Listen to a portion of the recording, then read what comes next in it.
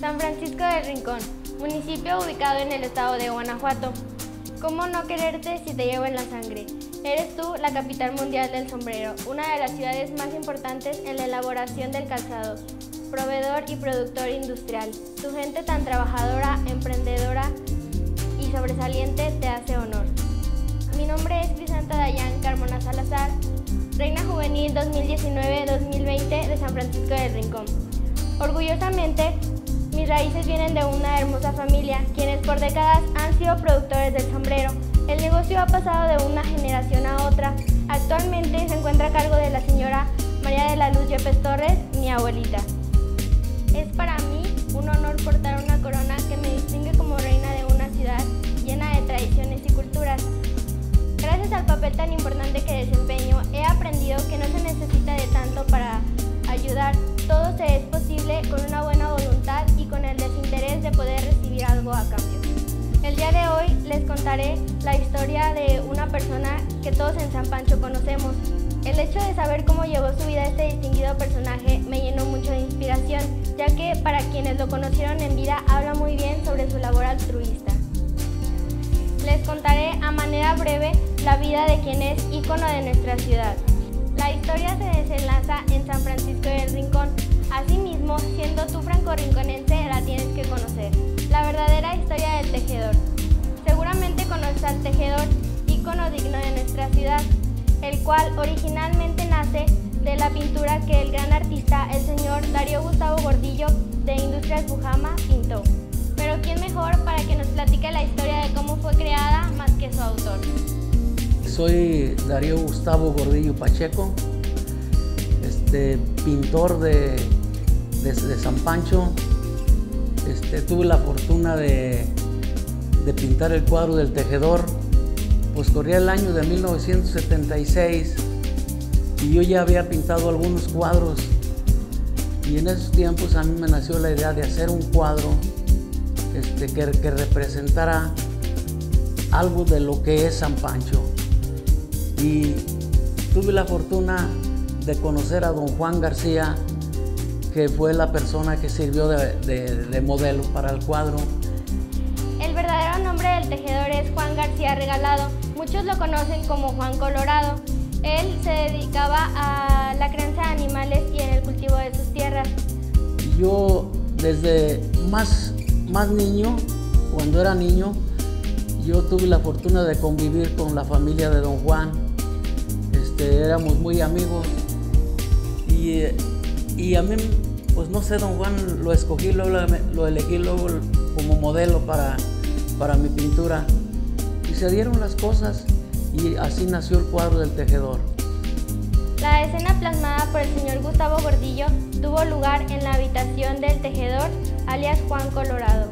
Se puede observar la barda de adobe, asimismo como un tronco que está sosteniendo el techo de tejas.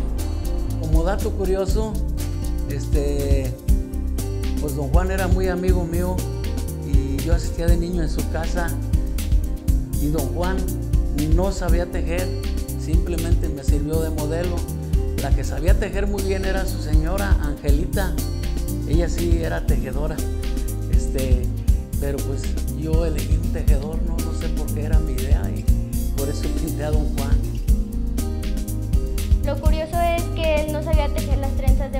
únicamente fue tomado como modelo. Quienes sí sabían tejer era su esposa y sus hijas. Entonces, pues yo me entusiasmé mucho y me di a la tarea de estar pensando varios días cómo, cómo podría ser la idea de un cuadro.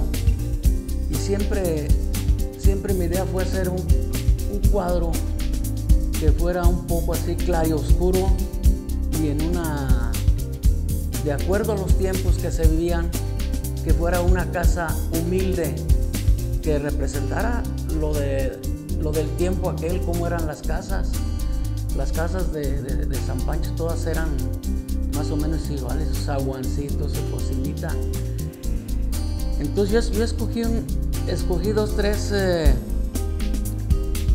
dos, tres paredes que nos sirvieran de fondo y entre esas quedó esta, la, de Don Juan, que viene siendo su casa. Su casa, así como sus parcelas están ubicados en el barrio de San Antonio. Aún se conservan algunos cuartos de lo que fue la casa en la que vivió el tejedor junto con su esposa. Aún están en pie algunas bardas y tejados de lo que eran las corraletas de sus vacas. Su vestimenta era tal cual como lo vemos en la pintura, un gran sombrero, pantalón de pechera, camisa y guaraches tejidos. Sus restos descansan junto a los de su esposa en una tumba del Panteón Viejo en San Francisco del Rincón. En esta foto se encuentra él, su esposa Angelita y su sobrina Serina, nacida en Estados Unidos. Esta foto fue tomada en uno de los tantos viajes que ella hizo a México para visitarlos. En esta foto podemos observar a los dos juntos la señora Angelita Ricardo Soria y Juan García.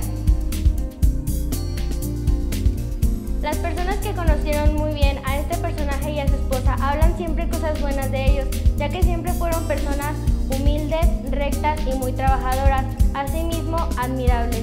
Siempre estaban ocupados y preocupados por ayudar a los más necesitados. Era tanta su buena voluntad de ayudar al prójimo que hasta la gente iba en busca de ellos cuando no tenían para comer. Y ellos sin dudar les compartían de la cosecha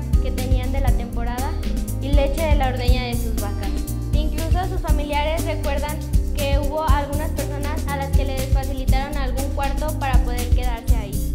Te invito a que me sigas en mis redes sociales y que compartas con tus familiares y amigos esta información.